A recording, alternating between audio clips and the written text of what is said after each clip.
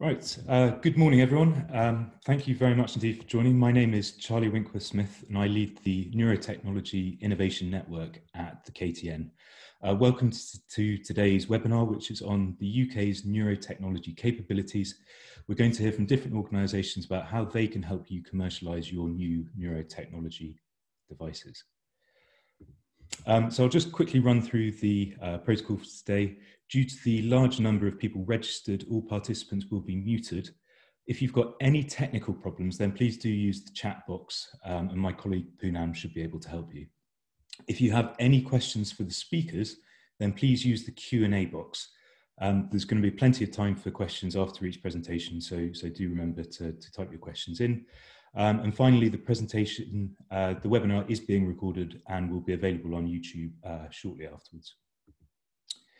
So I'm just going to give a, a, very quick introduction and then we'll hear from uh, Lisa Hearty and Alex Casson about the Henry Royce Institute. Uh, Tom Beale will then introduce the Centre for Process Innovation, CPI. Anne Vanhoestenberghe will then uh, give us an introduction to the manufacture of active implant and surgical instruments facility, the MAISI facility. And finally, we'll hear from Matt Taylor, who's going to give us an introduction to health economics. As you can see, there's a Q&A section um, after each presentation, so, so do remember to, to, type your questions in, and then we'll finish with a short uh, panel discussion. So if any of you are new to the KTN's Neurotechnology Innovation Network, uh, we're here to help. We're here to try and bring together and grow the neurotechnology community in the UK to help you accelerate the commercialization of your new technologies.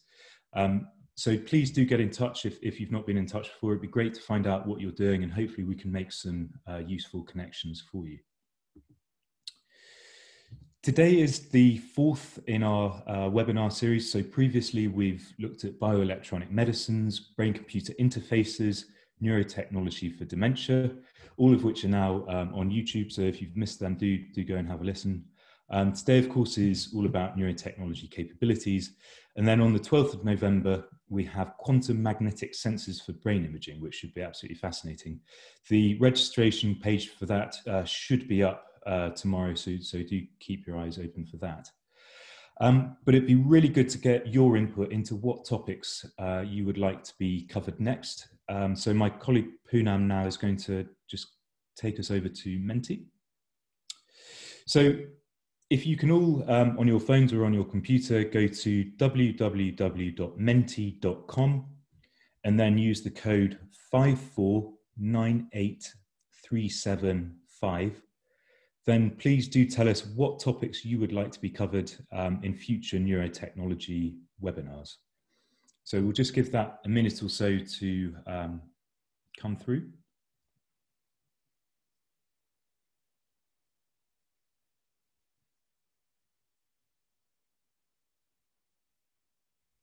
Don't be shy. I'm sure there are some other topics you would like covered.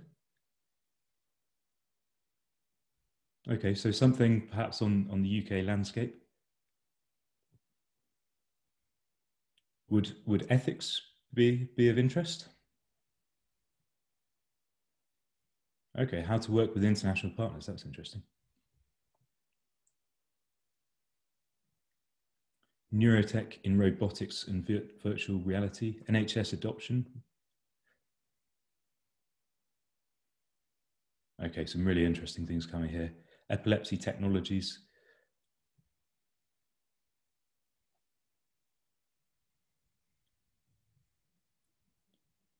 Translation, that's hopefully something that we'll hear a bit about uh, today. Um, so the code again, if you've missed it, um, is at the top of the screen. So go to www.menti.com and then use the code 5498375.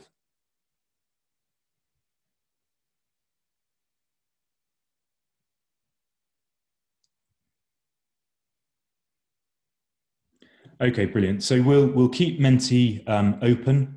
Um, so just uh, final final time, uh, do do uh, please let us know your thoughts. Um, but for now, I will hand over to Lisa Hearty and Alex Casson, who's going to give us an introduction to the Henry Royce Institute. Lisa. I'm Lisa Hearty, and um, I am one of the business development managers in the Henry Royce Institute. So I look after the biomedical materials side.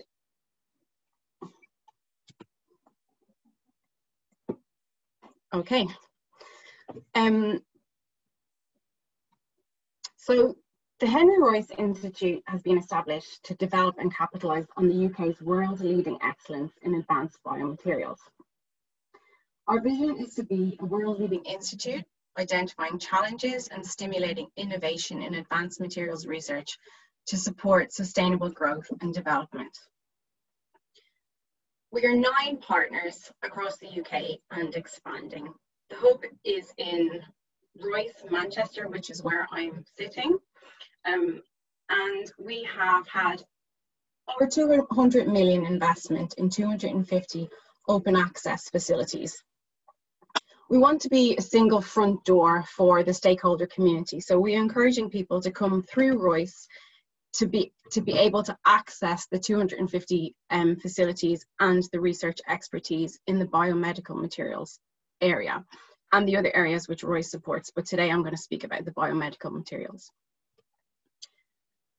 We want to support and grow world recognized excellence in UK excellence in UK material research. Um, accelerate commercial exploitation and deliver positive economic impact for the UK. How are we going to do that?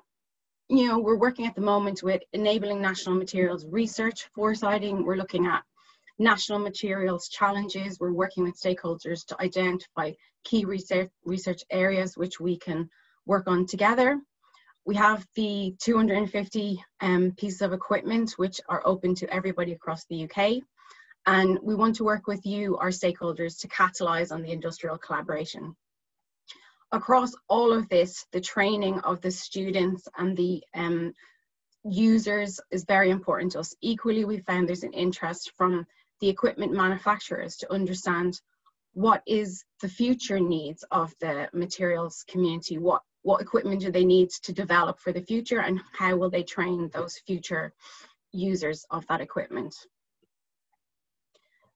So with regards to the biomedical mater materials theme, again, the same, the same vision and values. We want to accelerate the discovery, manufacture and translation of biomedical materials using our state of the state of the art technology platforms. So again, the facilities that I highlighted earlier for biomedical materials, we've broken them down into five um, technology platform areas. Alex is going to speak in a moment about these areas in a bit more detail.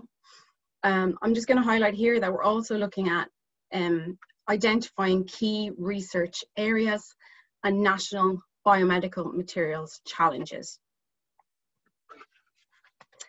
So this um, big slide here is is we've whittled down um, from many stakeholder engagements how we will address the national materials challenge of materials for personal health. This is driven mostly by the fact that globally, the number of individuals aged 60 plus is projected to reach 1.4 billion by 2030. And this is going to accelerate a demand for curative and affordable biomedical materials. You will see here that we have engaged with the community and something that they're quite keen on is making it bespoke. Um, we've kind of seen that firsthand with the PPE when it came to COVID-19. They wanted to make it locally as well. So we're looking at ways to make things bespoke, personal and locally. There's also addressing the global healthcare challenges. We've been working with um, with Bangalore in India. So they are looking at um, 3D printing of new implants. They want to look at improving the, the impact and lifespan of implants, but also what we found is that there's differences in, in the skeletal um, anatomy in patients across different ethnicities. And a one size fits all off the shelf is not always the best option. So this is where we're going to be taking the personalized side of things and you will see how we have engaged with the stakeholder community and how we will continue to engage with the stakeholder community. Across all these areas, the regulation and how we develop new standards to test to will be very important. So this one, again, very busy slide. I'm happy for feedback on all of your slides here. um, we we develop these with the stakeholder um, community, so all feedback that you have is greatly appreciated.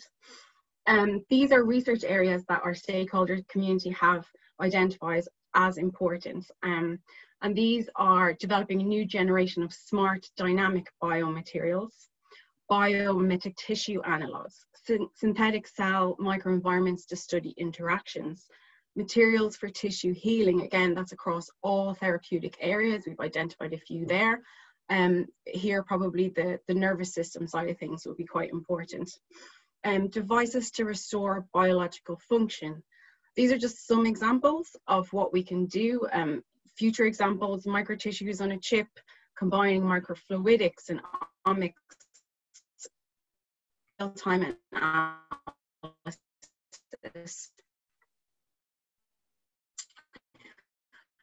But all of this, these materials challenges and I think might not be possible without the technology platforms which Alex is going to describe now. Thank, thank you very much, Lisa. Um, so my name is Alex. My day job, as it were, is at the University of Manchester. I'm a reader there in electronic engineering. And then within the Royce Institute, I've been leading on bioelectronic facilities that are going to be installed in the Royce Hub building, which is also based in Manchester. Uh, so before going over some of those facilities that we have available um, and are intended as a national facility for people from across the country to come and use openly to complement their own facilities or to minimize the kind of local investment that they have to do. Um, I just wanted to spend a, a, very little bit of time going over the kind of big picture as we see it. And this might be a little bit off topic for this, um, for this webinar, um, but I think useful in terms of seeing the direction of travel and where, where we see we can add some value to this kind of roadmap. Uh, so we have the next slide, please, Lisa. So in terms of that big picture, uh, you know, we have current clinical practice today, which is basically one size fits all. Everybody gets the same thing. You know, there's a little bit more kind of dynamic risk prediction based on some high level factors, but you describe that as one, one size fits all overall. And next, Lisa. And then, of course, there's very big kind of MRC, NIHR type investments in precision medicine in personalized medicine, which in this framework work if you if you think of them from the genetic point of view. So precision medicine would be about identifying subgroups of people. Obviously, you can't just look at people and determine what subgroup they're in, but looking at um, their genetics, being data driven for that. And then the step beyond that would be personalized medicine. And so you may have two people who belong to the same subgroup, but of course they're still individuals with their own genetics, with their own life exposure. And personalized medicine would be trying to target medicines down to that individual.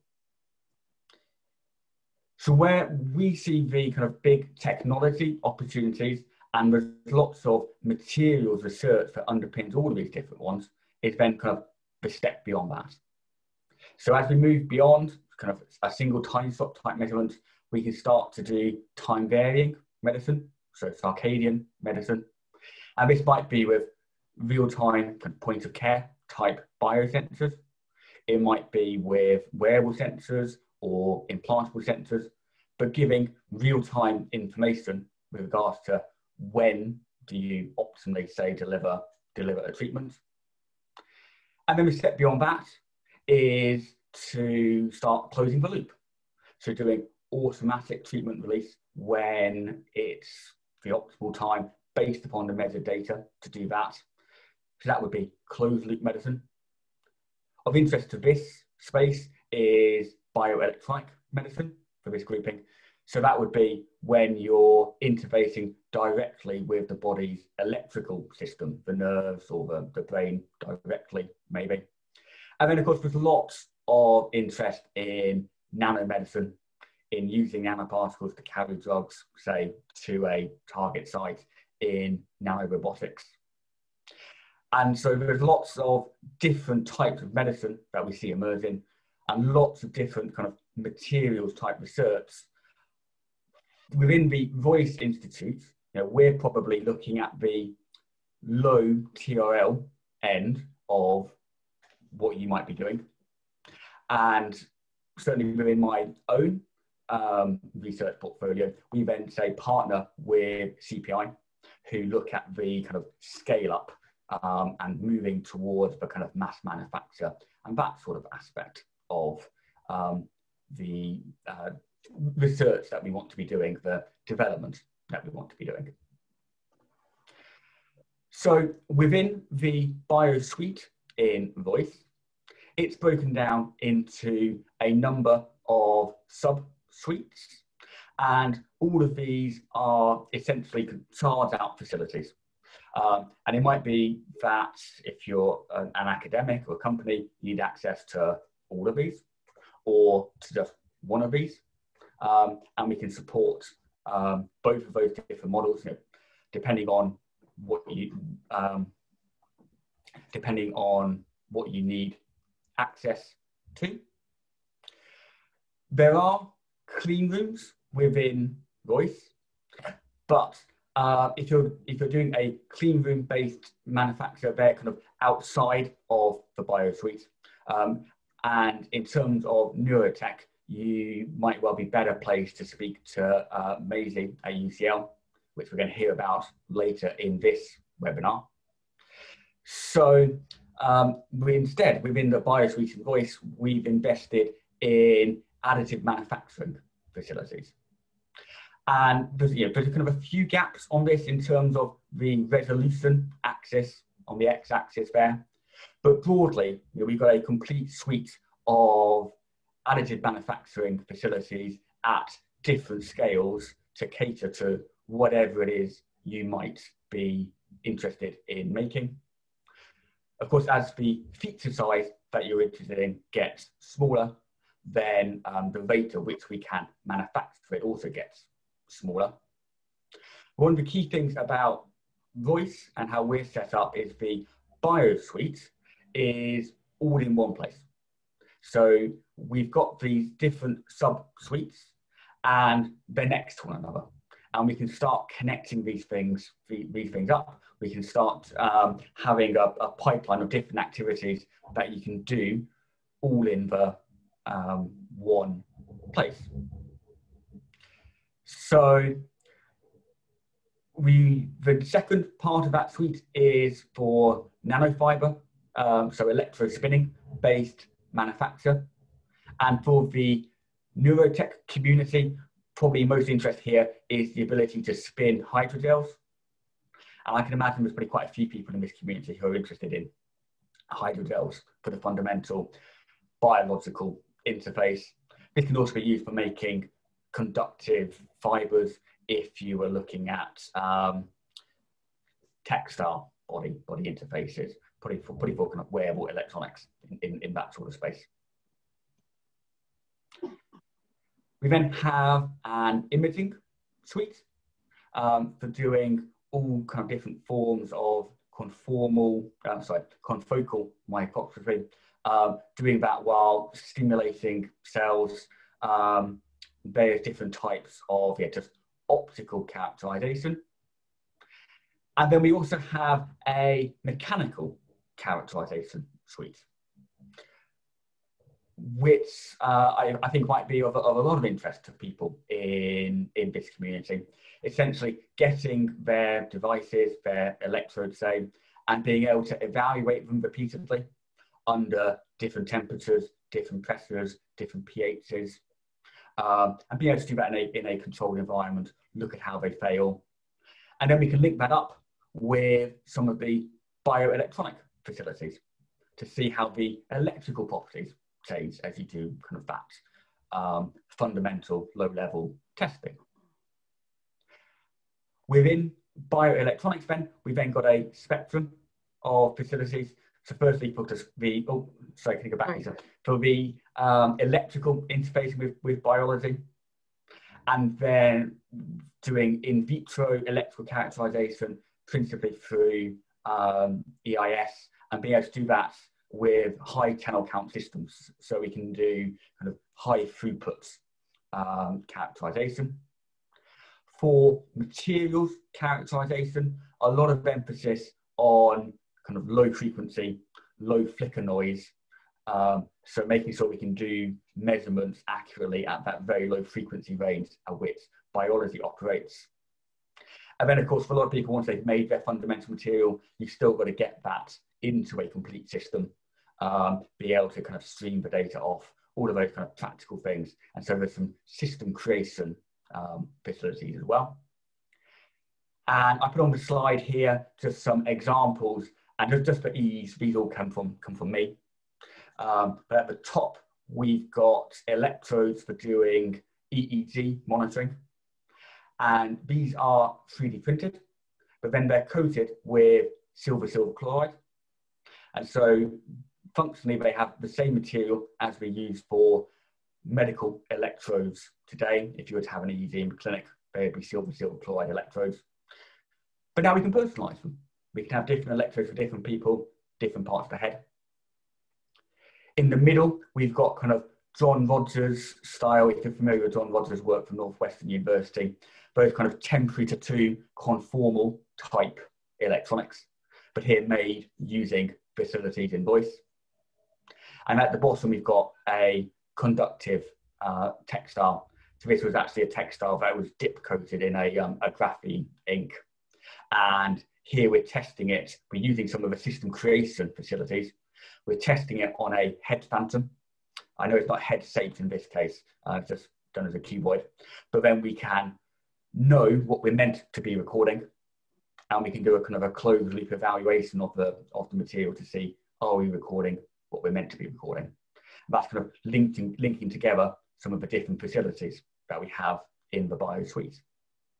So back to you, Lisa. Thanks, Alex. Um, so just generally then how to get involved. Um, we're the main Royce site, which will give um, more information than just the biomedical material side. So I'd encourage you to, to look at that website.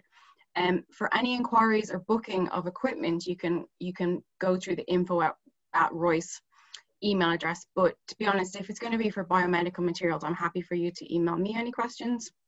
Um, we have um, the, the facilities catalog online, and this has all, all of our equipment online, and all of those pieces of equipment have facility managers, and they be the gurus for that that equipment.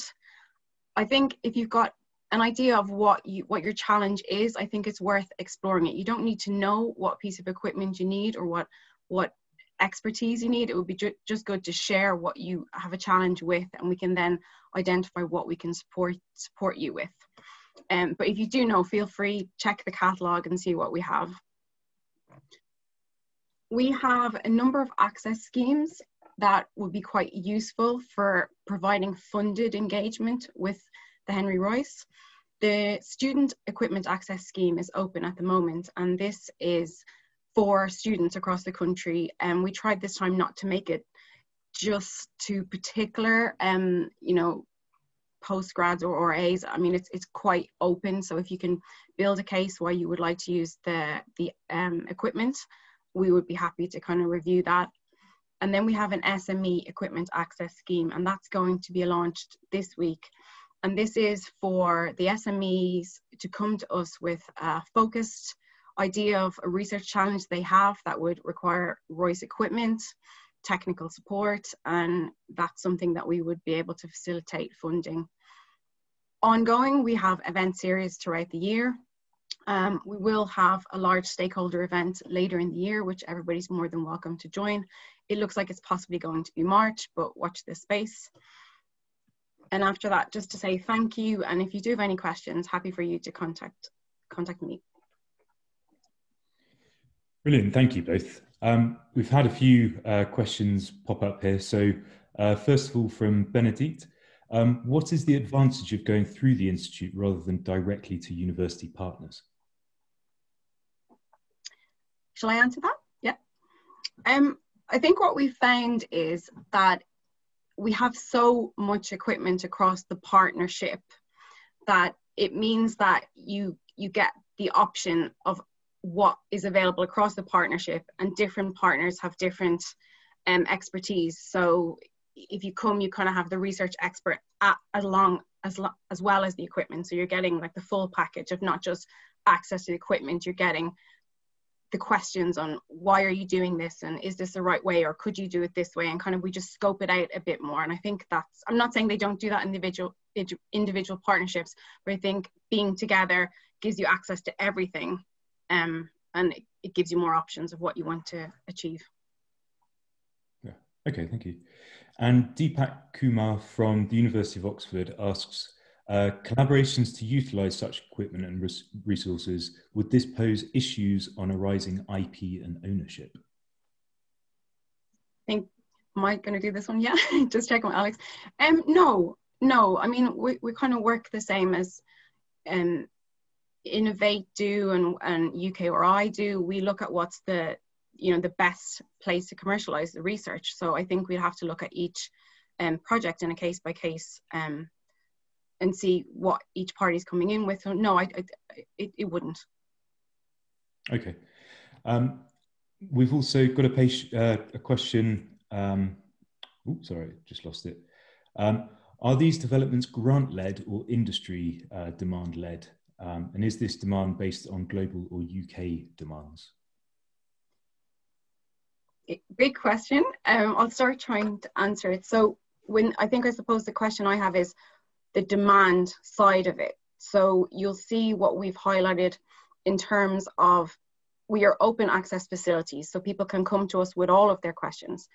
Um, and that's like open all the time. But in the background, what we're looking at is identifying the material challenges that there is for the UK.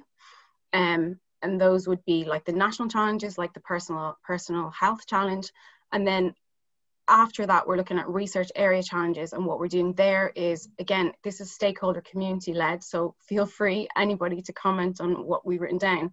But what we do there is we look at where the UK is best placed to advance that research in order for it to eventually become commercializable research.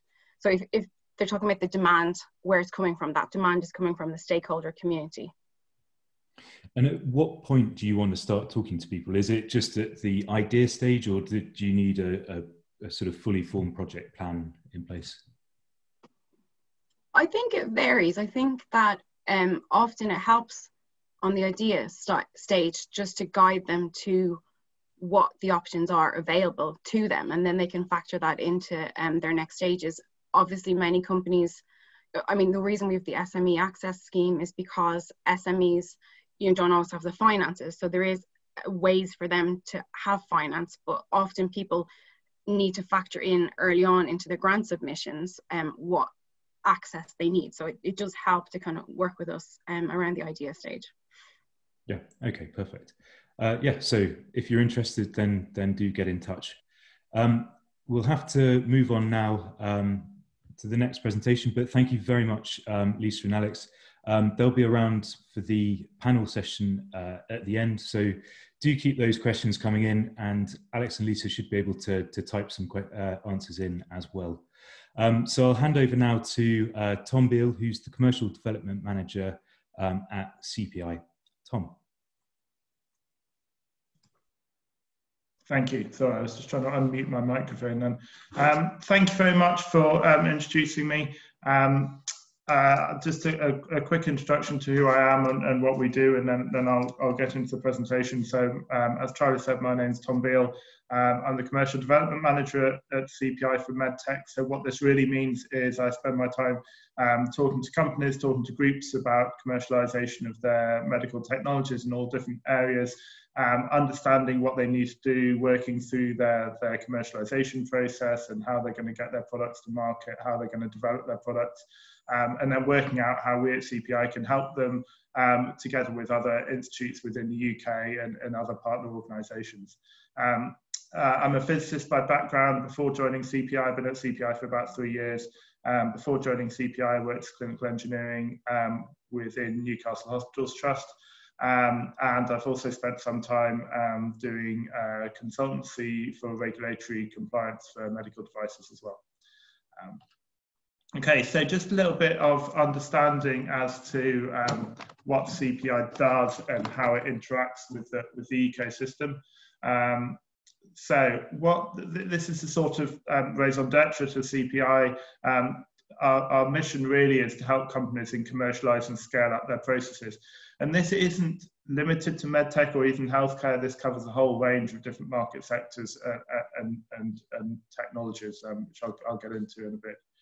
Um, so um, CPI is part of the high value manufacturing catapult system. Um, so the catapult system in general is set up to increase economic output within the UK um, and to really try and um, develop the um, uh, economic activity within the um, uh, more high value and high technology space. Um, and this is particularly within the high value manufacturing catapult. So CPI is one of seven organizations within this grouping. Um, and we also work closely with other catapult centers such as the Medicines Discovery Catapult and the Compound Semiconductor Applications Catapult as well, which are, which are outside this, the HVMC. Um, so the catapults are, are funded um, through um, uh, directly through government to a certain extent, and that allows the catapults to exist um, and, uh, and, allows us to sort of develop our capabilities. Um, how we sit within the, the ecosystem and the infrastructure. Um, what we what we're not trying to do is we're not trying to develop the sort of blue sky research and uh, the invention, and really that's um, the remit of the university sector, the academic sector within the UK. Um, and what we try and do is help develop those um, inventions and really bring those innovations through into the commercial sector. So the, the catapults were set up with the realization that the UK is very strong in invention and has a very strong academic um, uh, uh, remit. Um, but actually what historically it hasn't been particularly good at is taking those academic ideas and commercializing those and bringing those forward, um, both for um, UK commercial benefit, but actually also in this case for um, patient benefit within the UK as well, and actually driving that, that, that patient benefit.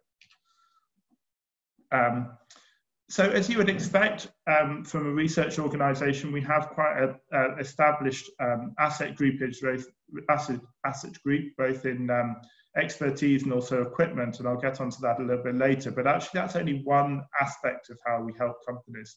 Um, there are two other really important aspects that I'd, I'd just like to bring your attention to. Um, the first in the bottom right is our knowledge and application of innovation process. So really what this means is helping companies, startups, spin-outs in their business development in the um, technology landscape and actually being able to assist them in developing and growing their, their businesses.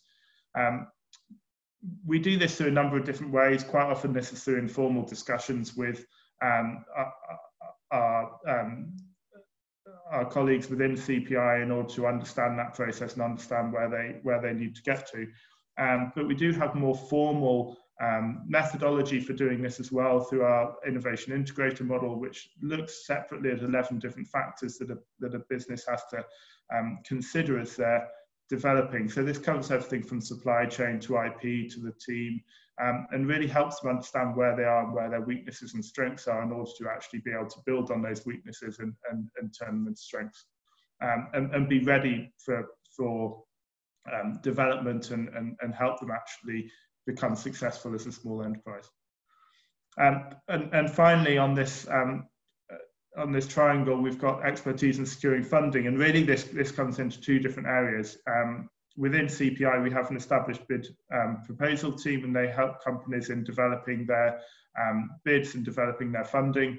Um, so we are often co-applicants on grant applications like Innovate UK or in the health tech space. Um, that includes NIHR funding, such as the i4I. Um, and, and really that enables a, a, stronger application of grants going through. Um, in addition to that, we also have our CPI enterprises arm, and they have strong relationships with the investment community such that they can connect up um, companies with investors that are looking to invest in that particular area or that particular particular funding. So we have investors that are particularly interested, for example, in um, investing in medical technologies um, and not just in software. Um, and, and, in addition to that, um, we also have CPI enterprises also able to make um, small investments themselves as well in companies. Um, so as I said, in addition to medtech, um, we also work in a number of different value, um, high value markets as well, including um, pharmaceuticals, aerospace, um, and, and, various other areas as well. And this is really underpinned by a, a, small number of core capabilities, which are housed in a number of um, uh, areas within the UK. so these uh, cover things like biotechnology and biotherapeutics as well, um, and, and, pharmaceutical processing, which we have quite large capabilities in. Um, so CPI is um, mostly focused in the northeast of England. Um, our head office is in Wilton, which is the old ICI plant on, on Teesside. Um, and, and, we have a number of other offices through Teesside and, and County Durham as well, and a number of other facilities. Um, we are in the process of constructing the Medicines Manufacturing Innovation Centre up in Glasgow as well, and this is a, um, a joint venture between led by CPI, but in collaboration with a, um, two of the major pharmaceutical manufacturers as well. Um, these are a few numbers to give you an idea of the, the size and scale of CPI. It's grown a little bit since this side, so it's more like 450, 500 staff at the moment. Um, we've got a significant, almost 200 million um, investment in assets. And what this really means is, is infrastructure and um, equipment that is utilized by um, ourselves and by companies in order to develop their products and, and, and bring their products forward. Um, and we've been around for about 15 years as part of the, part of the Catapult system. So just to focus a little bit on medtech and how we um, can assist companies in this area, um, we really work in two areas. We help accelerate um, the development of medtech. And, and not only that, we also really try and help that adoption and help understand how um, companies can get their products to market um, successfully. So in terms of accelerating medtech development, um, we've got a number of um, different areas where we can we can really work on this with companies. Um, within our within CPI, we've got a strong capability within formulations manufacturing and formulations development. Um, so this is where we can develop and exploit new materials. So this might be new plastics or new new gels. Um, it might be new conductive inks. Um, it might be um, developing new ways of formulating um, uh, APIs or that kind of thing. Um, and, and we've got an extensive capability of formulating needs and analyzing new materials. Um, in terms of in, integrating advanced systems, what we're really talking about here is being able to develop um, smart electronic systems. So this might be electronic systems, it might be um, photonic systems within your devices in order to make that, that diagnostic or, or therapeutic um, technology. What we really try to do all the time is design these devices for manufacture. So design these devices or design the technology such that it can be built at the scale that is needed to be built at commercially. Um, so what we don't tend to do is, is make a one-off and go, okay, we've, we've managed to make this one, but you know it's impossible to make tens or hundreds that you, you need to be able to make. Um, obviously, that number will depend on what the application might be. So if it's for a, you know a rare disease type, it might be that ultimately you're only trying to make hundreds of devices, and therefore a fairly manual process can be appropriate. If you're doing a more common diagnostic test or monitoring, then actually you might need tens of thousands of these devices. And so it's designing that product such that it can be made in the, in the appropriate scale. Um, we've got uh, uh, uh, expertise in electronics, which I'll go on to go into a little bit more detail. Um, and all of the development that we do for MedTech is um, developed under our certified 13485 um, quality management system. So um, the work that we do is entirely appropriate for taking devices on to be um, used within clinical trials or CE marked. In terms of accelerating that medtech adoption, how do we actually help those products get further? Well, from the beginning, from our the, the very first discussions we have with companies, we're always trying to understand the, the value proposition that the company is putting forward or the group is putting forward in terms of where their technology is going to fit in. So understanding who the users are going to be, who's going to buy the technology, where that's going to fit in the care pathway, how that's actually going to be utilized, who's going to be using it, um, and really understanding that process through and helping the company try and understand that process and develop that process. And that's not necessarily done in, done on our own. And we have strong collaborations both um, in the clinical and, and, and actually non-clinical partners as well. So we work closely with the likes of the academic health science networks. Um, you're going to get a talk later on from um, uh, Health Economics and YHEC, who we work with closely on a number of projects. Um, and, and really what we try and do is, is bring together all the expertise that we need to in order to really understand your product and make your product um, uh, get get commercialized and get adopted. Um, so that will be, um, in addition to our developing the technology, will assist you in setting up clinical trials and, and getting those. And although they wouldn't be delivered by CPI, we can help introduce you to um, clinical colleagues or, or, or, trusts in the region and, and, throughout the country that can help you in, in running those clinical trials. Um, I think it goes without saying that before that process, um, technology needs to be tested um, on, on bench testing and, and, and um, as much preclinical testing as possible in order to ensure the technology is safe before that's taken on board. And much of that we can do in-house. Um, and what we're really aiming to do is try and get your product such that you can access a global market with this um, and, and, not just a single site or a single position. I thought, given the, the focus of this is neurotechnology, then actually the um, expertise and capabilities that we've got within electronics and flexible electronics might be of interest to a number of groups. So I just want to highlight some of the areas that we've got, got in electronics. Um, so if we go through this, what we've um, we do have extensive cleanroom facilities within our electronics facility, and this includes um, things like um, spin coating and slot die coating, um, photolithography, um, and various other coating technologies. This is principally based on electronics on non-traditional substrates, so glass substrates or plastic substrates, um, but can be used for laying down electrodes and can be used for, for um, prototyping various different areas and, and building up to a, to a Gen 2 scale, so up to a reasonable full size scale. Um, we also have capabilities within flexible printable electronics, um, and this is enabling us to do roll-to-roll -roll printing of um, large area electronics and conformable electronics. So this can be useful whereby um, rigid PCBs aren't particularly um, helpful or don't particularly work in that instance. Um, printable electronics is fairly niche in how it fits in.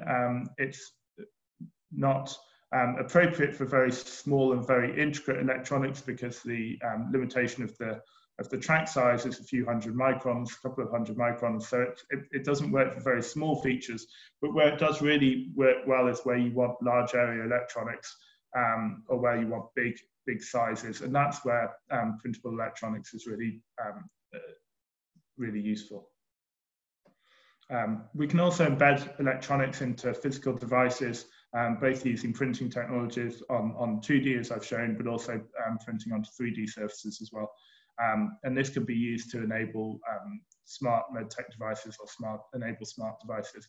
We've done some work, for example, on, on um, uh, smart labels where we've been um, enabling to monitor temperature, monitoring humidity through the supply chain, and also looked at uh, smart pill packets whereby when a, a, tablet is removed from a blister pack, then it um, logs the time and date when that um, tablet is used. So you can utilize that for um, enabling um, compliance of medical, of um, uh, taking pharmaceutical um, ingredients.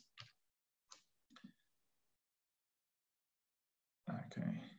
Um, so just going back to our MedTech Centre, um, our capability for um, MedTech is really focused on our National Healthcare Photonics Centre, and this was completed a couple of years ago. Um, and this is where our, the majority of our MedTech development occurs, but that expertise from other areas of CPI feeds into that to enable us to have a much um, bigger ability than just in one centre. So I've talked a little bit about the Electronics Centre, we also have our biotechnology and our biologics facility um, in, in, Wilton and in, in, Darlington, and they um, enable the manufacture of everything from enzymes and antigens to antibodies and assay development. Um, so this really enables us to do a lot of work um, on um, uh, pushing through um, in vitro diagnostics and other sort of diagnostic capabilities as well. Um, I mentioned a little bit earlier on about our formulation capabilities and making new materials. This sits next door to our photonics center, and this enables us to do manufacturing of, of nanoparticles, fluorescent materials, but also um, new materials such as inks and hydrogels and things like that. Um, so our MedTech development site, um, as I said, was established a few years ago. It's fully certified under 13485. We just passed our year two um, audit um, a few weeks ago. Um, and it's about a 2,000 meter facility. Um, I'll go into this a little bit more detail. so this is the reason why I've outlined the uh, outlined the, the floor plan here is just to give you an idea of the variation of the capabilities that we've got on our site here. So um, this our ground floor ground floor of the of the facility, which is mostly our um, uh, laboratory space. Um, and we start off on the left-hand side here with our biochemistry and, and, and chemistry lab. And this is really a, a, sort of general purpose wet lab that we use to support the rest of our, our area. Um, what's of increasingly usage is our bio facility, our biolabs within our medtech facility. So these are class two category biolabs, so we can handle um, human tissue samples, but we can also handle um, various viruses and various bacterial strains as well. Um, we can grow cell cultures within there. Um, so we can look at the effects of um, various different um, uh, technologies on different cell types um, and being able to do analysis of that work. And actually within that biotechnology facility, we also have a uh, confocal microscope system um, with fluorescence imaging built in um, off that biosuite. So we can actually do um, imaging of biomaterials directly within those biolabs. Um, next door to that, we have a suite of optics labs and laser labs, um, and that enables us to do optical systems development, and a couple of those are class four um, laser facilities as well. Um, moving further on to the right, we've got our ionizing radiation lab. This is a, effectively a, a, a lead-lined room with a control room next door, and this enables us to do work with um, uh, radionuclides and also with um, X-ray detectors and X-ray emitters as well. Um, and really, we can um, develop our work with phantoms, um, being able to, to develop new phantoms, look at new um, uh, use of radionuclides within different settings. Um, we've got general purpose workshop facility, and we've also got this large flexible manufacturing and assembly space. So this is a, just over 200 square meters where we can set up assembly lines for the manufacture of uh, medical devices, um, typically, as I say, for clinical trial scale or for pre-market adoption. So here we would be doing, uh, depending on the device, we might be making tens or hundreds of devices. We're not a contract manufacturer, so we wouldn't be making in the thousands, um, but we can do small scale pilot line um, assemblies whereby you can enable um, uh, optimization of your pilot line and look at yields of your devices coming out as well. Um, and actually within this area, we've got our um, additive manufacturing facility as well. So we've got a number of different um, 3D printing um, equipment that we can use within there. Um, upstairs in the facility, we've got a design lab. So this is where our um, initial design work happens. So for our physical realization, we use SolidWorks, and this is coupled with um, Altium for our electronics design and Zemax for our optical design work. Um, and at the other end of the facility, we've got our electronics lab as well, where we can um, produce and populate um, traditional printed circuit boards, also do testing to 60601 um, and, and, various other test and development facilities within there as well. Um, it's just worth mentioning one of the way that we work within CPI is that we um, try and work alongside companies in the development of their technology. Um, so we do have flexible office space within the facility where companies can come in and, and, and base themselves within the facility while they're doing um, uh, piece of work with us, while doing fairly large scale piece of work with us. So it might be if they're, they're setting up a manufacturing line that they want to be part of it, or if they're doing an ongoing project over several months or years that they want to actually base themselves partly within CPI to, to work closely with us. Um, this is just outlining our device development pathway. So as I mentioned earlier, we're not normally involved in the technology creation right at the beginning, but we would then take that product on um, and take that through the design process, starting with the conceptual design and, and getting as far as um, a pilot manufacturer. um, then that device would be taken out for clinical validation and we can then work closely to transition that for, for high volume manufacturing. Um, and as I mentioned earlier, this is fully within our 13485 process. Um, just a little bit on how we work with companies. There's a couple of different ways that we we um, engage with companies typically. The first is a purely commercial work where it's a fee for service, um, and this is probably the quickest way to engage with CPI and the most flexible.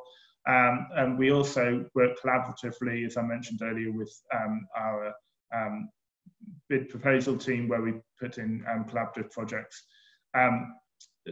There were questions earlier on about IP, so I'll just generally make a comment on that.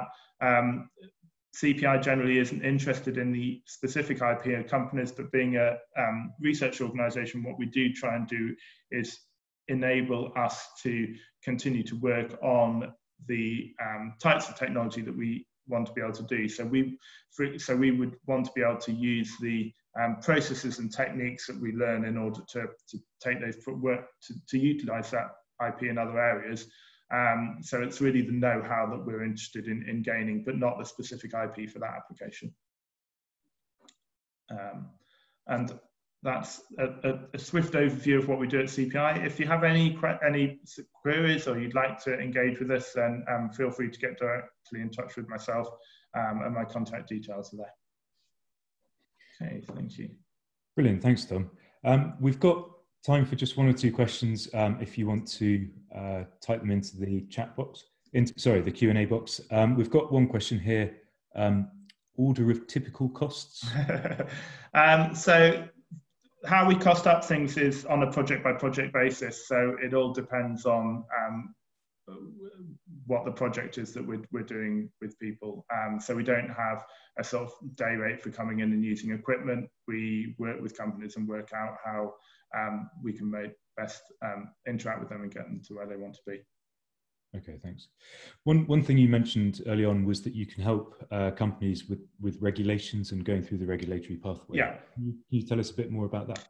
Yeah, sure. So um, we see that the regulatory development is um, goes hand in hand with the technology development. So we can't, in our view, those two things have to be be developed together.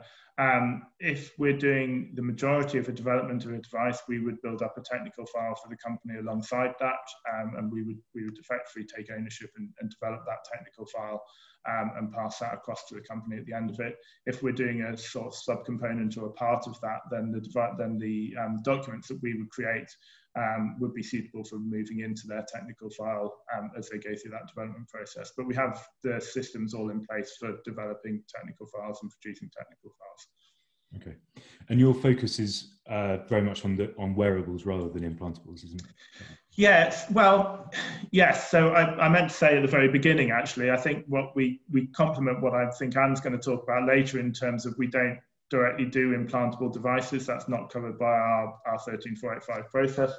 Um, but obviously, with every implantable, there's a device outside um, in terms in, in terms of talking to it or communicating to it. Um, and there's quite a lot of neurotechnology that isn't implantable based devices as well. Um, there are some areas whereby we have done some work on, on devices that are certainly prototypes for implantables through our electronics facility and our, our patterning facility. So it might be, for example, that um, Anne's team at MAISI decides that they want to use the technology that we have in order to implement into their implantable device, that's fine, they can do that, but obviously they would then need to put in, determine what those, those QMS steps would need to be in order to make that suitable for that particular application.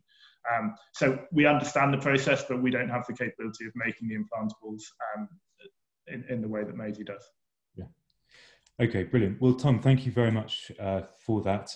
Um, if if anyone has any more questions for Tom, we'll be having a panel discussion later, or do um, continue to to type questions into the Q and A box. Um, but I'll hand over now to um, Anne, who's going to give us an introduction to uh, the MAISI facility. Anne's the deputy uh, director of the MAISI facility. So Anne, over to you. Thank you very much. Thank you, Charlie, and thank you, Tom. What a great way to um, to be introduced, and what a great way to follow up. Um, I think it's it's been really brilliant to to have the introduction to the UK CPI before I talk about MAISI.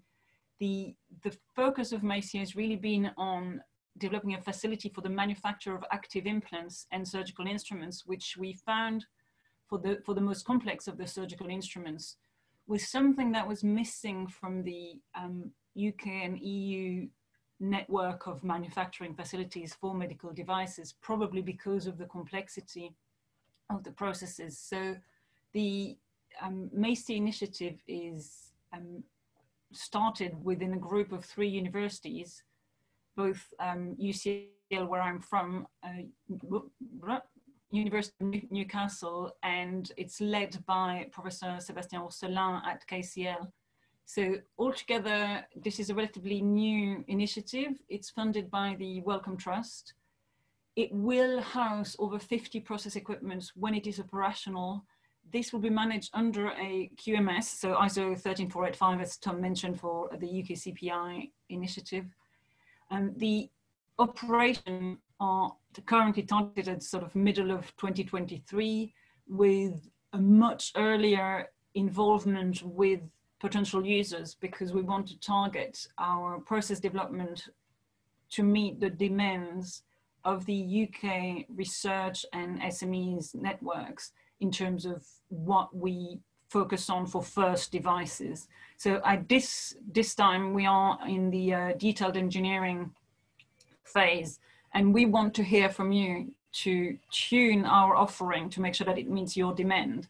So I'll just give you a quick overview of the of the talk, but we'll really focus today on what MAISI is, why we exist, what facilities we will have available, and I'll touch a little bit only on the product journey at this time and our timeline. So what is MAISI? Um, if I can get to the next slide, it's a bit um, jumpy. Um, so we're going to have a fully staffed facility which is focused on the manufacture of active implants and surgical instruments. As I've explained, the importance here is on the fully staffed facility. So there will be engineers, regulatory experts, technicians working in the clean rooms. So this is not a facility which is available for hire where you send your own team to come and manufacture your own devices.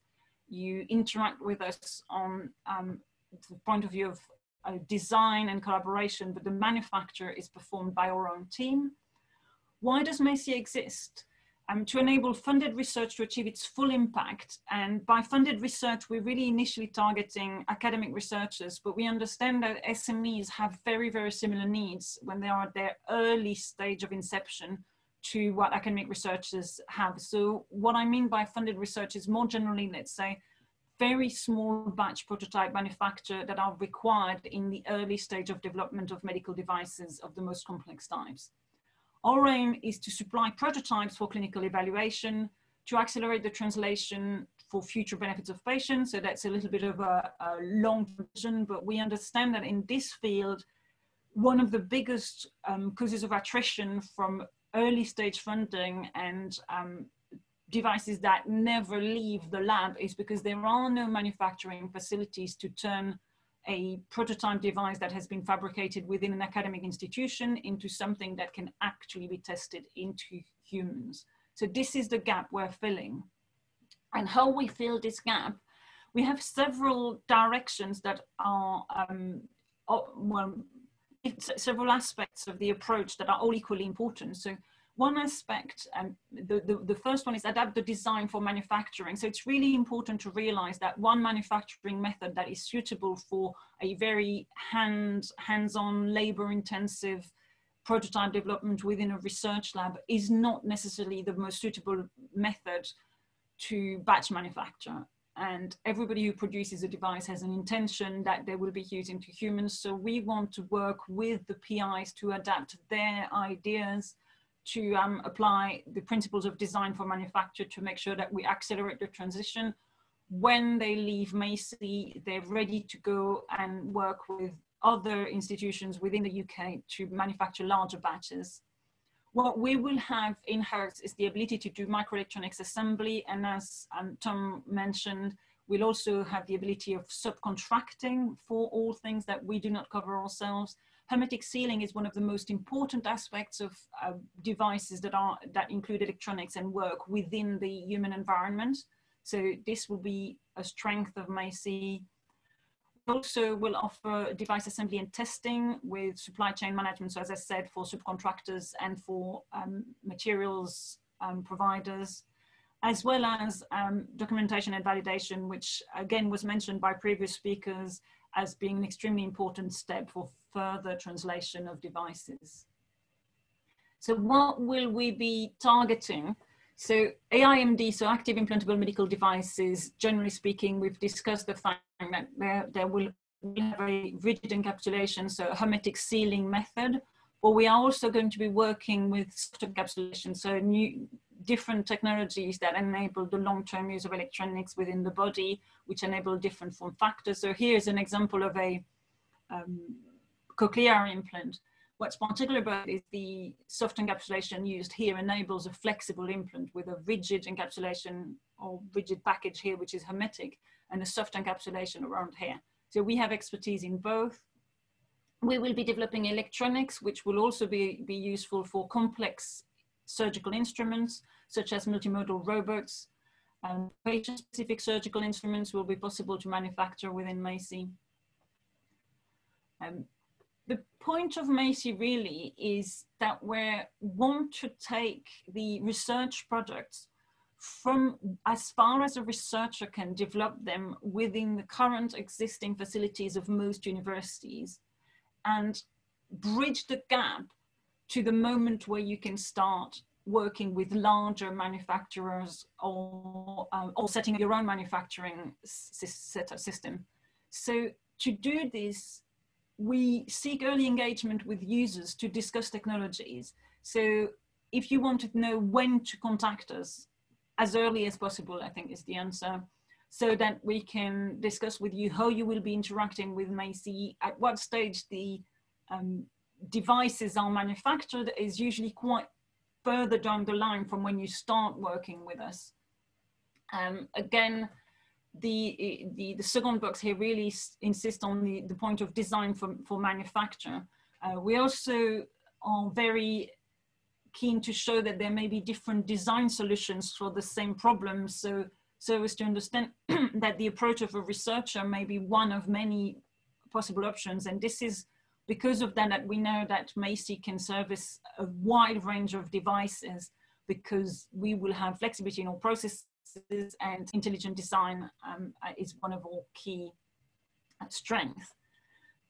we also will use obviously standard methods and processes so that we have a standard approach for uh, rapid translation and as I mentioned before, product documentation um, and everything being um, performed under a quality management system. So what will MAISI look like? So here we have a, I love this uh, 3D model.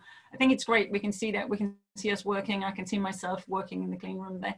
Um, we are embedded within St. Thomas's MedTech Hub at KCL, which is extremely important because in terms of creating connections, being part of a larger network, the location enables us to have both extremely close contacts with clinicians, obviously being within uh, St. Thomas's, at KCL, but also being within the MedTech hub is fantastic because it means that we will also have proximity of other innovative groups, smart SMEs and larger companies that all work in the same um, field and therefore all encounter the same challenges. And we think it will, this will really foster an, an innovative, creative dynamic that should also accelerate the access to further funding, development of devices, reach further beyond the first clinical evaluation. So location is extremely important. In terms of the content of this, excuse me, we'll have a suite of clean rooms that have different purposes from um, a original um, from, from an in initial preparation room to a grade eight clean room and then cleaner rooms ISO 7 with a laminar flow at ISO 5 for the most precise cleanest operation. which um, all, all of the, the suites are um, under environmental monitoring to validate the cleaning procedures, but also to certify our clean rooms with um, particle monitoring and microbial tests performed as part of all routine maintenance. In terms of the equipment we have here just listing a few of them. I'll give you a moment to read through them, but I also have a much more detailed list of equipment at the end of the slides as the sort of hidden slide. So if you're interested in more detailed equipment, um, uh, we can we can discuss that later. Whilst I'm on this slide, I'm just going to jump onto one of the questions. Could you do some non-invasive BCI prototypes? Yes, so we're not focusing on one type of product. What we have is a range of processes and services that can be adapted flexibly to your device. So if you have a design which is a BCI prototype, then that's what we'll be making. If you have a design which is an implant for uh, EMG recording for the control of a prosthesis, that's what we will be making. We're not proposing here to make a specific type of device. What we're proposing is to make devices whose common point is that they're inside the body. They're going in either as complex surgical instruments uh, briefly within the body or as active implants for a very long period of time within the body. And so for the active implant, we obviously have the needs of um, the, the, leak testing here in the primary packaging stations aren't necessary for helium, um, sorry, for helium leak testing, so for hermetic packaging. We'll have the electronics benches here with screen printing, which enables us to print our own tracks. We have instrument assembly, as I said, with the laminar flow, which um, gives us an ISO 5 level. And we have a series of additive manufacturing and laser welding machines equipment here, which enables us to do the manufacture of some parts of the surgical instruments and assembly of the implants. Excuse me. Um, the MAISI is a new facility, so it's a new initiative. Our team is currently being built, so we already have obviously our um, leadership executive board with uh, quality systems manager, Dr. Heisman, who um, is from KCL, and within the core staff, uh, we are joined today on the chat by, um, on the meeting, sorry, by our process engineer, process engineer, which is Gabriel Jabust, and manufacturing quality assurance, Helio Fazenda. We're currently broadening the, the team by recruiting for the other roles. So briefly, as I said, I was going to touch on the product journey. I just want to show you this and insist really on the when to contact us. When do we expect the owner of the device, the user of MAISI to contact us? As early as possible, because we have a series of steps to go through um, I'll mention IP um, retention and sharing just in a moment, actually. That's really good timing for the question. Um, if you don't know what I'm talking about, I'm answering the Q&A questions as I'm speaking. I just haven't just suddenly thought about IP. Uh, so I just wanted to show you here on this slide that really the, the manufacture takes place very late in the, in the process. I don't know if you can see my mouth, but manufacture is number 11.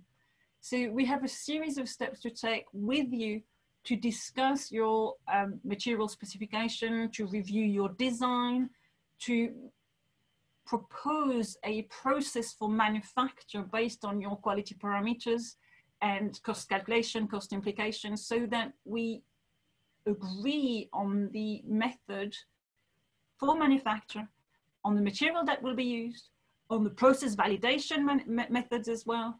And every, all of this needs to be done in discussion with you before we can actually start with the manufacturer. Following the manufacturer, step 12 is the control, the quality control, and finally is the batch release. At that time, when we reach step 13, we have a documented process that is ready to be transferred to um, further manufacturing facilities or to be repeated within our center if you need, within our clean room, if you need further small batch production. In terms of attitude to IP, attitude is very, very similar to that of the, the, UK CPI, and I think it's understandable that all manufacturing facilities will have a, a similar attitude. We are very clear that the IP on the product is owned by the person, by the user, and remains owned by the user. But the technology that we develop within our, within our clean rooms to manufacture these devices, if we develop new technologies around the use of um, silicon rubber encapsulation, for example, this IP, which is developed by our team to solve a range of, um, well, to, to solve a problem for a range of devices is owned by MAISI. So MAISI owns the IP that it develops and is free to use it for a range of devices. What you bring to us is your IP and we have non-disclosure agreements in place. We do not use what you brought to us for other devices. What we contribute is what we can use. So I hope that answers the question. Final few slides, um, and we'll have probably a bit of time to discuss uh, the, the specific equipment list if you're interested, but for the moment, in terms of timeline, um, so as I said, this is a new initiative. At this stage, we'd like to invite interested users to discuss their needs with us to help us fine tune our services and select a few flagship projects. So the, the physical constructions of the clean room has been delayed because of the impact of COVID-19 and will take place in 2021. We would like in early 2022, having had time to discuss um, funding requirements, needs, timelines of various researchers, we will be hoping to see in February 2022 the first flagship products to be selected. So these will be the first products that will be produced through MAISI as a way of demonstrating our capabilities with um, flagship product validation um, for December 2022. And in 2023 is when we open for all users. So I'm moving on to questions and I see um, couple of questions, a couple of more questions have appeared on the Q&A. So in research grant applications, would, it, would it be possible to involve MAISI as a COI or collaborator subcontractor or flexible? Um, I think we, we would only be COIs if we were to do part of the development of the technology. So if you're interested in developing something where there is a requirement for a new technology that's basically the current uh, packaging technologies, if I'm thinking about implants, are not satisfactory, then there would be a development element which would involve us as COIs, but this is not the focus of the way we will be working. Mostly we're working as collaborators or subcontractors on the grant, depending on what the grant allows, where you um, work with us on a service basis. Uh, so do you license your IP when appropriate? That's a really good question. And I think this is one of those where I'll have to refer to you um, for at a later stage because we haven't at this stage discussed how we would be licensing our own IP. But obviously, if we develop IP on um, new processes that then need to be transferred for further commercial production, then at that stage we will discuss how the um, of this IP can be transferred to the commercial manufacturer think I've answered all four questions on the Q&A box. Um, yeah, thanks, Anna. So if you want, I can go through uh, more, um, more details on the processes we offer. Uh, otherwise, also for information, um, although my name is Anne Vanhoestenberghe and here is my email address, um, we have a generic email address that reaches directly everybody in the team at KCL, so you're likely to have much uh, quicker answer if you address any future, future requests maisi at kcl.ac.uk. Thank you very much, Anne. And if anyone's got more questions, then please do put them into the uh, Q&A box. We've got a, few more minutes for questions. Um, one, one question for me is, when, when you are fully operational, how many devices do you see that you'll be working on at, at any one time? Um, if by working on you mean how many different types of device will be under manufacture at the same time, I think the numbers will be quite low. But if by working on you mean how many will we, how many research group will we be interacting, then that's going to be a much larger number. The point is that we we expect and hope that researchers will be contacting us very early on, so much before we start manufacture. So whilst we may only be manufacturing two or three different types of devices at once because of the timeline of the manufacture, we expect to have a much larger number of groups in contact with us, going through the early stage process of uh, working with us to adapt their design for manufacture, working with us to think about their the materials they are using, the uh, develop their regulatory plans, their clinical evaluation plan, and all of these aspects must be in place before you start manufacturing something. Yeah. We've got a question here from Benedict. Um, who asks, as a manufacturer of components, uh, she's from Johnson Matthey, um, how can we help you when you require a subcontract uh, to subcontract some services? Um, I think the short answer for this is that one of the most difficult aspects of the subcontracting will be the requirements of, of falling within our quality management system. Uh, and that will mean creating a um, clear sub subcontracting um, line between the provider of the components and the user who, who will be us. So um, I'm not the QMS expert, obviously, I'm an electronics engineer, so I, this is really stretching my knowledge, but my understanding is that quality management system are very stringent as to how you work with subcontractors. All text project can fail, I see, sorry. Sorry, Charlie, go on. No, no, no, no, no, go, go for it, do, do answer that. Yeah, all, all tech um, projects can fail. Do you offer any kind of warranty backed by your professional indemnity insurance?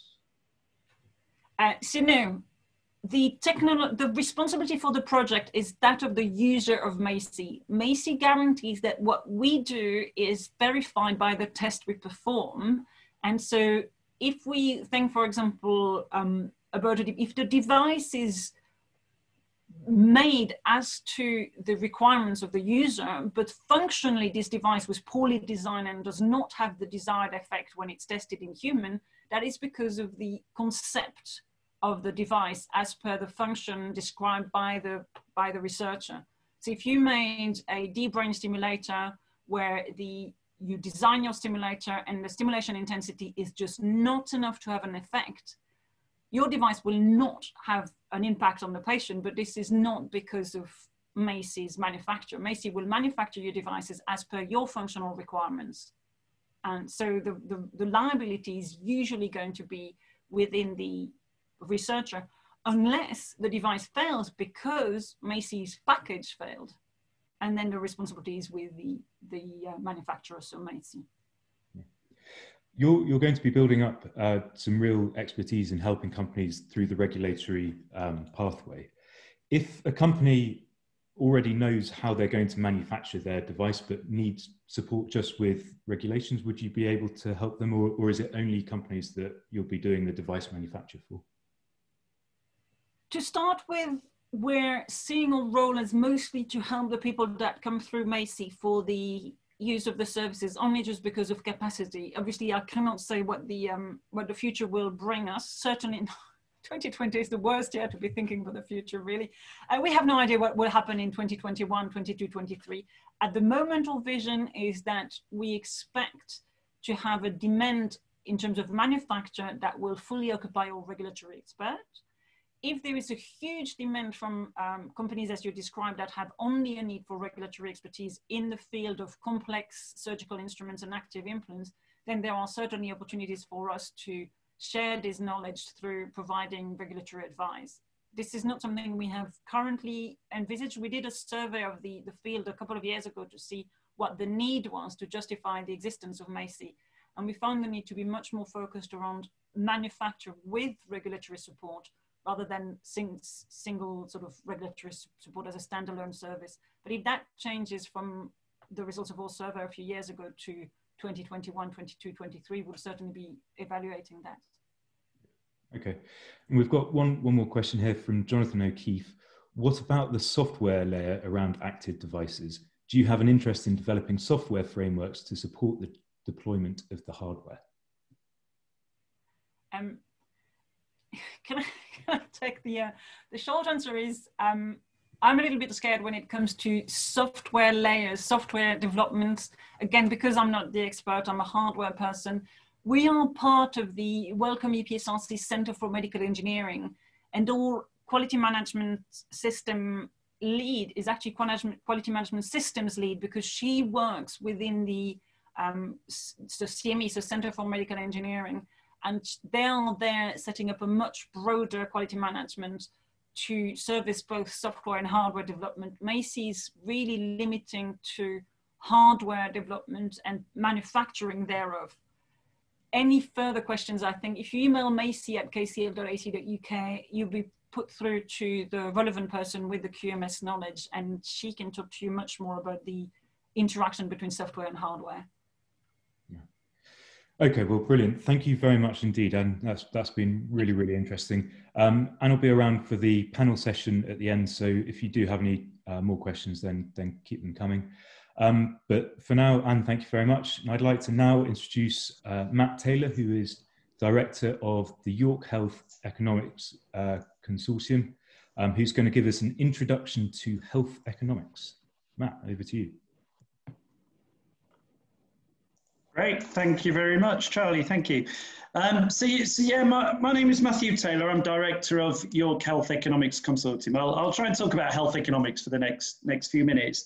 I'm aware that for, for quite a lot of you, maybe even most of you, health economics is is way off into the distance, potentially even even over the horizon at this point. So I want to try and keep this very, very top level. So I'll, I'll just give you a quick background to who we are, what we do. We're, we are York Health Economics Consortium. We're based at and owned by the University of York, which is, is kind of where health economics was invented back in the 1970s.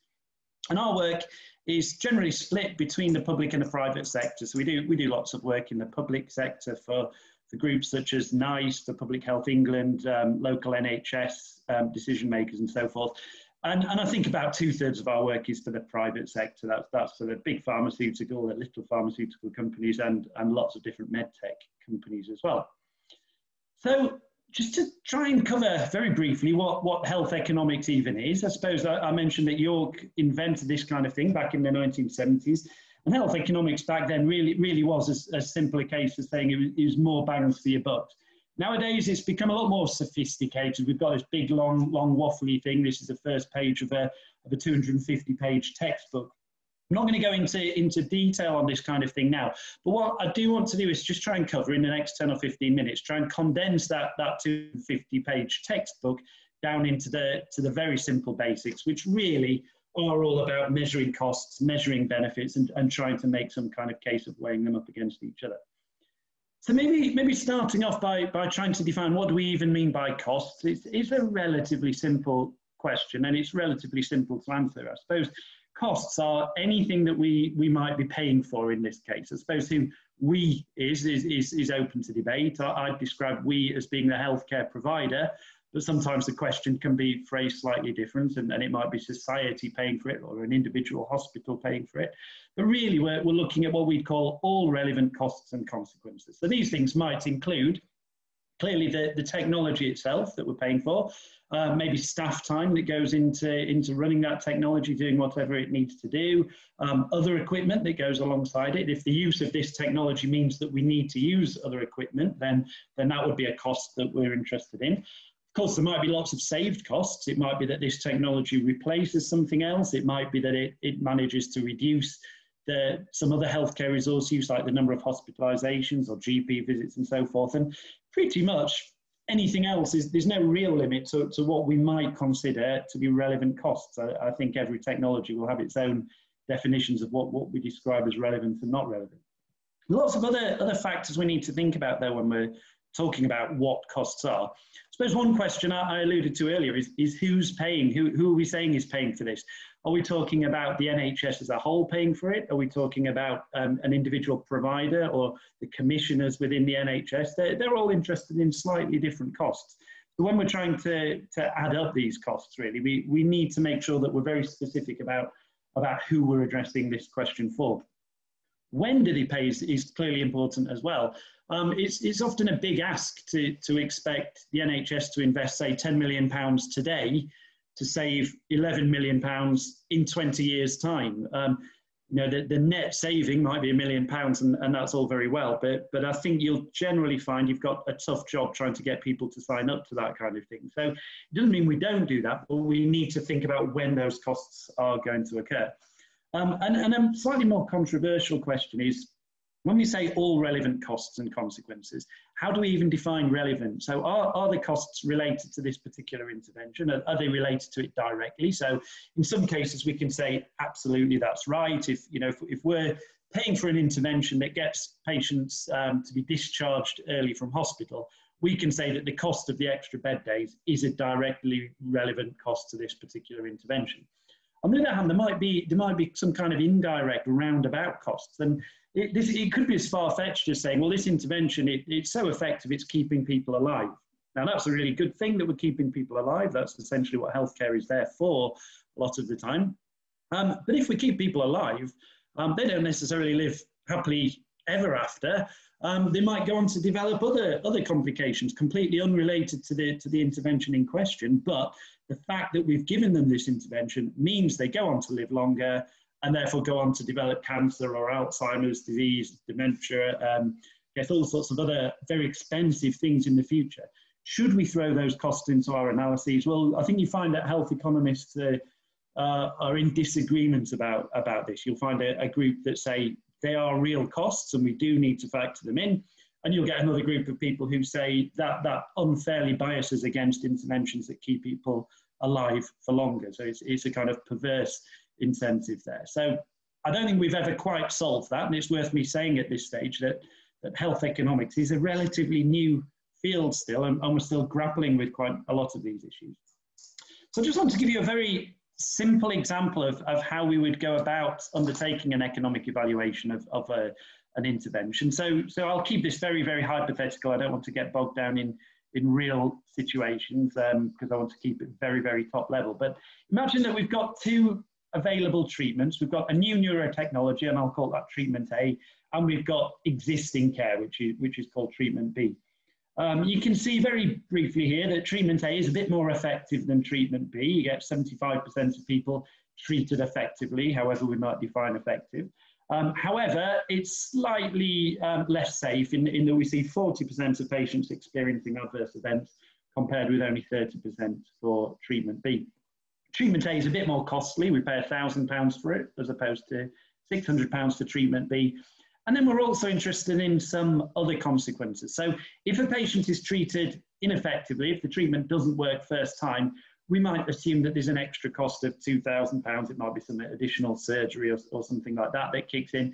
And we might say that when an, a patient experiences a complication, an adverse event, we, we again have an extra cost. I've, I've assumed £400 in this case. It might be just some extra healthcare that, that needs to be provided for those particular patients. So what we would do is try and develop some kind of economic model. In this case, I'll, I'll use a decision tree to illustrate how we would do that. We very simply start off by saying if, if people receive treatment A, what might happen to them? They might be treated successfully with a 0.75 chance, or they might be treated unsuccessfully with a 0.25 or 25% chance. If they are treated successfully, they might have adverse events with a 40% chance, or they might have no adverse events with a 60% chance, and the same down at this bottom end. So what we end up with is four potential pathways for, for patients to go down in this, in this very, very simplified example. Now, what we're interested in is saying if a real cohort of patients was given treatment A. So I'll use a nice big round number like a thousand and say if a thousand people receive treatment A, we can then work through our decision tree to work out how many people would be treated successfully and then of those, how many would have adverse events, how many would not have adverse events, how many would not be treated successfully with and without adverse events. And therefore, we can account for our thousand patients throughout this model. Obviously, in the, in the real world, the, this decision tree would be far more complex. We might say that when they're treated unsuccessfully, they would go on to the next line of treatment. It might be that we have death built into the model and so on, but I, I just want to keep it nice and simple for now. So we start with a thousand patients, and we should ideally always make sure that we end with a thousand patients accounted for. Now what we're interested in is, is what the payoffs would be for these, these four branches. So we know that if a patient is treated successfully but experiences adverse events, we can go back to the inputs I described earlier and say they cost £1,000 for the treatment, they, they cost nothing for their, for their extra intervention because they were treated successfully, but they incur a cost of £400 for the adverse events, and therefore each of those patients will cost £1,400. Now, there were 300 patients that went down that branch in, in this model, and therefore 300 people, each costing £1,400, gives a, a, kind of subtotal for that particular branch of the tree of £420,000. And then we repeat this exact same process for each of the other branches down the tree. In this case, the cost per patient in, in the second arm is only £1,000 because they don't need retreatment and they don't need their adverse events dealing with. And we do the same for the other branches, getting the little subtotals all along. And then ultimately, a big total cost for that cohort of patients. So, so what we're saying there is if a thousand people received this, this new technology, treatment A, it would cost £1,660,000. And then we repeat the whole process for treatment B. And of course, treatment B has slightly different inputs. It has different rates of success and it has different rates of adverse events. So we would map, map the patients through the model, a thousand people. We end up with different numbers at the end of each branch just because the, the pathways, I suppose the pathways look the same, but we've got different proportions of patients going down each of those branches. And then of course the payoffs will be slightly different for treatment B as well because treatment B itself is a less expensive intervention. It's only £600 for the treatment, but we still need to factor in the costs of retreatment and adverse events. And we, we take exactly the same approach that we did for treatment A.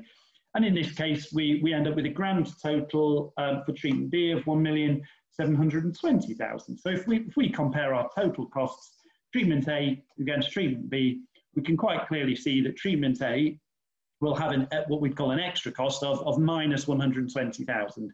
Um, and therefore, we'd conclude that this intervention is, is cost saving. If costs are all that we're interested in, we would be very happy to approve treatment A, this new treatment, um, and stop using treatment B for, for that particular cohort of patients. Now, that's not all there is to it. Of course, we're interested in lots of other things. So I, have described uncertainty here. I, I said that the effectiveness of treatment A is 75%. But, but you understand from clinical trials and, and any other sources of evidence that we have confidence intervals around, around these kind of inputs. We, we think the base case might be 75%, but it might be as high or low as, say, 95% or as low, low as 50%. We, we don't know, and there's always uncertainty in the world. So with, with, our evaluations, we would always undertake something called sensitivity analysis, where, where essentially we vary every single input to the model by, by its plausible inputs, by its interquartile ranges, by its 95% confidence intervals, whatever we want to do. And really try and assess the impact that that, that has on our conclusion. I suppose in very basic terms, we, we would like to be able to generate an overall percentage likelihood that we think this intervention will actually save costs. So rather than saying, yes, it's going to save £120,000, it's preferable that we can say there, there's a 76% chance that this intervention is likely to save costs and a 24% chance that, that we might be wrong about that. But this, this kind of uncertainty analysis helps, helps address that. And then another very important factor is uh, I've kind of been talking only about costs for now, but clearly healthcare gives a lot more than cost benefits. It, it makes people feel better, it improves their quality of life, it improves their length of life. And so we might want to, to factor in all of these non-financial benefits. I think we normally would. Um, in, in the world of devices, that's done less so than it is in the world of pharmaceuticals. But what we try and show here is, is a kind of quadrant type approach where, where we show cost on the y-axis or incremental cost on the y-axis, where, where upwards means this intervention is more costly than current care and downwards means it's, it's going to save costs. And then effectiveness is on the x-axis. So towards the right shows that we're, we're improving health. Towards the left means that, that we're harming health. It's less effective than current care. Now, if we focus only on costs, we're essentially saying that anything in the top two quadrants, we won't, we won't approve it. It will be more costly. We don't, we don't want to do that. And anything in the bottom, we will want to do it because it saves money. So that's irrespective of how good the intervention is, how, how well it's improving people's quality of life. In health economics, we've developed a concept called the quality adjusted life year or QALYs. And that, that's a way of combining quality of life and length of life to, to give us an overall aggregated kind of score for patients, their overall health well-being. And that's kind of where, where we measure this, this x-axis. So we can, we can say that this new intervention gives more QALYs than current care, or it gives less QALYs than, than current care, and factor it in this way. If we do that, then actually we, we kind of come up with another decision point. We come up with this diagonal dotted line, which is really telling us that, that I suppose you could look at it two ways. The more expensive something is, the better it needs to be in order for us to be able to justify that expenditure. Or another way of looking at it is the better it is, the more we are willing to pay for that particular intervention. So what we're really saying there is anything above and to the left of that dotted line, we think that the costs would, would outweigh the benefits and would be, we wouldn't generally approve that intervention. Anything to the bottom and to the right of it, we think that the benefits outweigh the costs and therefore we would approve it. So, for example, a technology that, that was demonstrated to be more costly but more effective and, and happened to fall below that dotted line, we would typically approve that, that kind of technology and say it is a cost effective intervention for the NHS. So, as a, very brief summary, I think I think it's worth emphasising that health economics is absolutely vital. It's it's often the hurdle that, that lots of technologies fall at. They've, they've demonstrated they're safe, they've demonstrated that they're effective, um, but they fail at the very last step to demonstrate that they're cost effective. And despite it being an important hurdle in that way, it's, it's often the most neglected. It's certainly the one that's, that's thought of last, I suppose, because it's the last hurdle in, in that process. Um, but to, to echo the, the thoughts of the other presenters today, I don't think it's ever too early to, to think about these things. Um, too, too often we see, we see the, the health economics arguments being made at the, at the 11th hour, and we, we come to realize that actually the whole crux of the health economics argument depends on some, maybe some long-term savings that, that we think probably would be there, but we just don't have any evidence to be able to back up that argument. And, and we generally say if we if we'd thought of this three years ago, we could have easily built that kind of cost collection thing into our into our clinical trial and you'd have been able to demonstrate that. As it was because you hadn't thought through the health economics you didn't pick it up and now we're left with this this big gap of uncertainty where we think you might be cost effective but we're unable to convince the nhs that you are.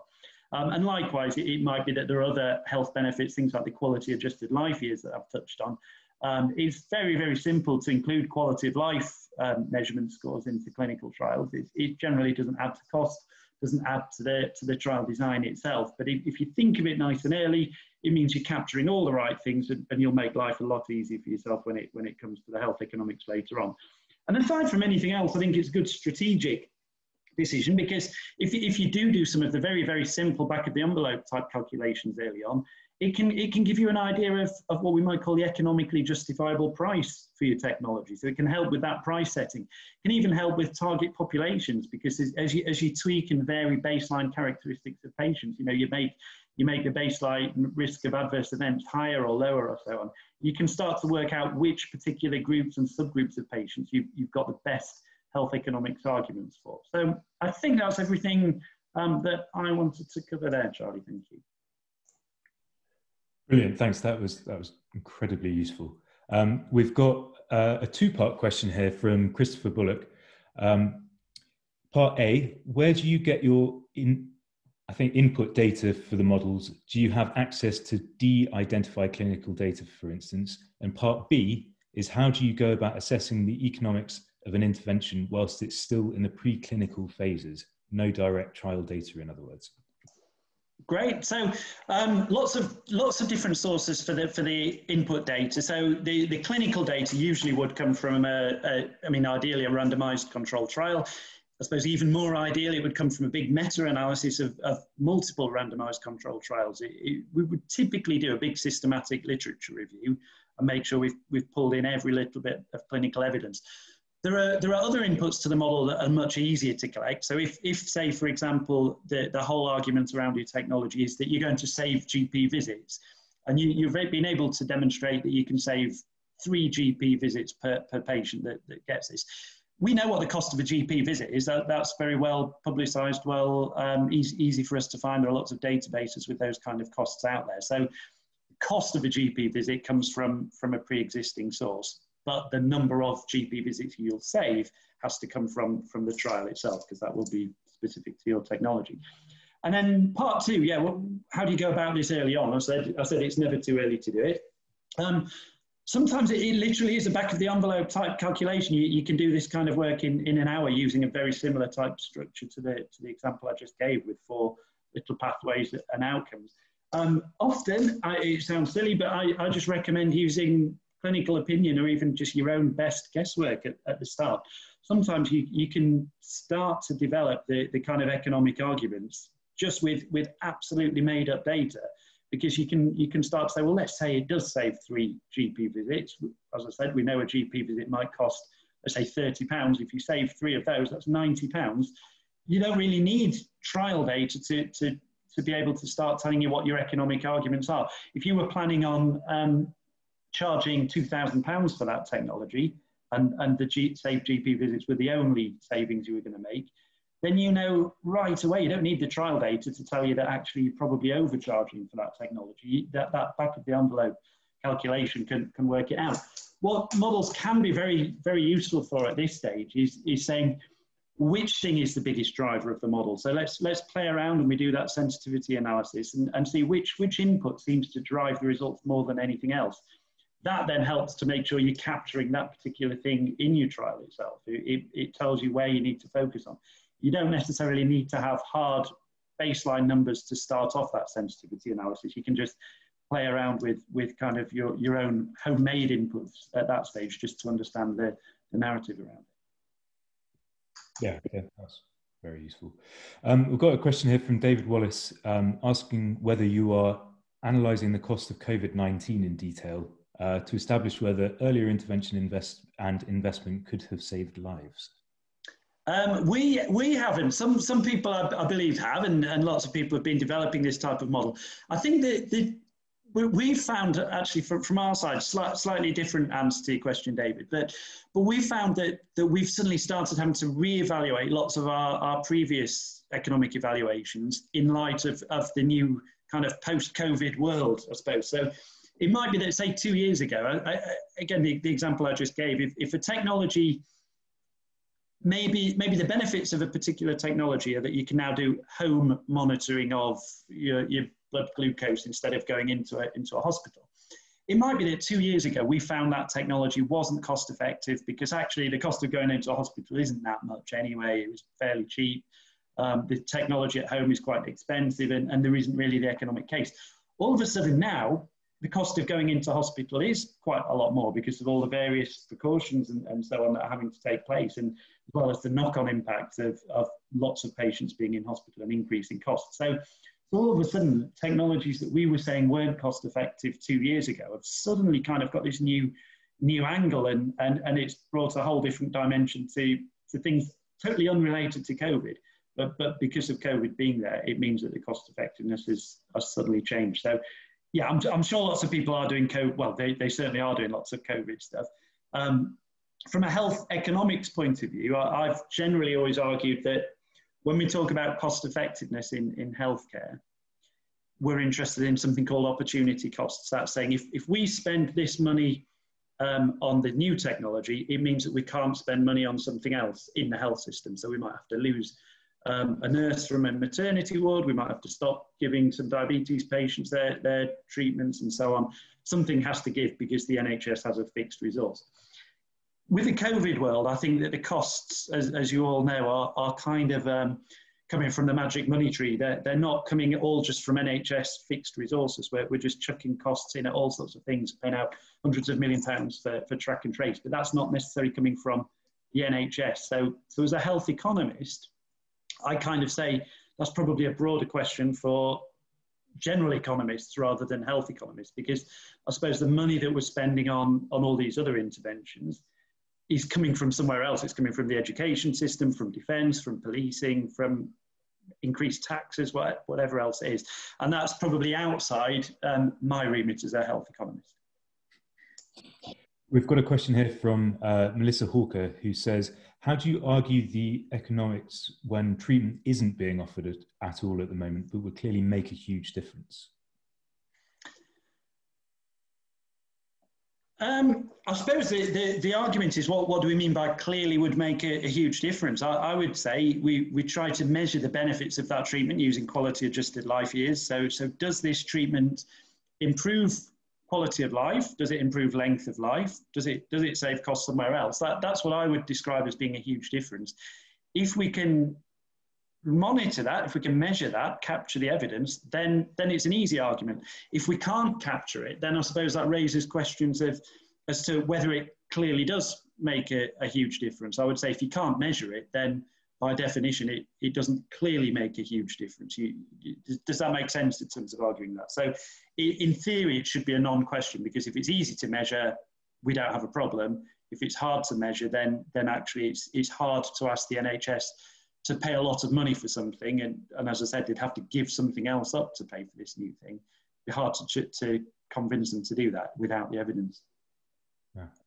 Um, at this point, I'd like to bring um, everyone back in for the panel discussion. Um, if if um, others have uh, questions for any of the speakers from, from earlier or, or, from Matt, then please do uh, type them into the Q&A box. Um, at this point, I'd like to, like to ask all the speakers if any, any of you have questions for each other.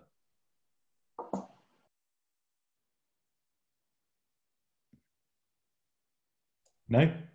Um, well, not, not a question, but just a, a comment, if, if I may, to say um, it, it, does come across to me, you know, we, we talked about the ecosystem, and we do have a nice ecosystem forming here. You know, we've got Royce, which is looking at the, the, the fundamental research actions, the low TRL stuff. And obviously translation is important, but we're not a translation partner. We've got CPI, who um, are much more focused on the commercial side and taking that stuff to be able to manufacture it more at scale. Um, and then, of course, the, um, the MAISI initiative, which is taking those very high risk devices, um, which, which need a special development route. And, you know, we do have the different bits falling into place here. You're absolutely right. And I think it's, it's important. Companies often think that they're they're on their own that, that that there's no support out there. I think actually there is an awful lot of support in the uk if you know where to find it. Uh, so that's a call really to to contact ktn if you're not sure where where that support might be then please do get get in touch with us. We can hopefully direct you to cpi or, or royce or, or others um, and we can make those connections for you. Um, I didn't mention York. Um, but actually, I do my healthcare economics in York at the CPI, and I would really iterate Matt's comments of it completely changes your thinking of when you do an early HTA of yeah, what price points you need to hit, what effectiveness do you need to have. It's it's not a technology plus development route anymore. Yeah, Matt, it might be worthwhile just to give a quick overview of what NICE do and how how they make their decisions. Yeah, so I mean, in, in general, NICE, I'll, I'll not talk about devices specifically here, but, but NICE's remit is, is to try to, I think they, they tend to argue they try to maximize health within the health system from a fixed budget. So, so they say the NHS has 110 billion pounds to spend this year. How can we maximize health, however we define health? And, and they generally define it using QALYs, QALYs, quality adjusted life years, as I said. Um, so they would typically evaluate something by, by inviting a company to submit their evidence. They, the company would um, piece together all the clinical evidence, all the economics evidence, all the quality of life evidence and so forth, the safety evidence, put, put that forward to NICE. NICE takes that on board and then spends about eight to 12 weeks pulling it apart, I suppose, trying, trying to really get to the bottom of it, make sure, make sure that everything's believable, make sure everything's transparent, that the company hasn't strategically left out little bits of information and, and so forth. Um, and then goes back to the company, I suppose, with, with questions and said, we, we, we, found this paper that you didn't include, or we, we couldn't manage to replicate such and such that you did.